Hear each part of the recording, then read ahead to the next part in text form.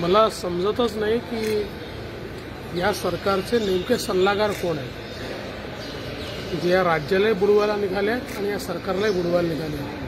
त्याचं कारण असं आहे की बी के सीची जागा जी आहे ती प्राईज लँड बी के सीमध्ये आत्ता यापूर्वी आपण जो शेवटची विक्री केली अठराशे रुपये प्रति हेक्टरने ती विक्री केली आहे.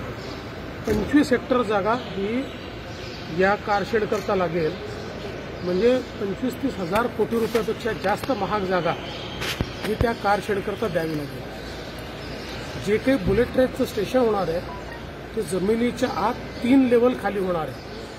जमिनीवर केवळ पाचशे मीटरची जागा ते घेत आहे आणि त्याच्यावर त्याचं डिझाईन असं केलं आहे की पूर्ण वरती इंटरनॅशनल सेंटर जे आहे त्याच्या इमारती होणार आहे. आणि आता जर आपण या बुलेट ट्रेनचं जे स्टेशन आहे ते खाली करायचं ठरवलं जमिनीच्या आत तर किमान त्याचा खर्च पाच ते सहा हजार कोटी रुपये असेल. आत्ता पाचशे कोटी रुपयात होणारं हे जे डेपो आहे ते जर सहा हजार कोटी रुपये लागले तर एकीकडे तो भुर्दंड तर बसेलच.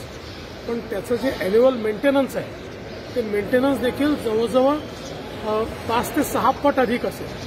त्यामुळे हे शक्य नाही आहे कोणीतरी चुकीचे सल्ले देऊन राहिलेला आहे.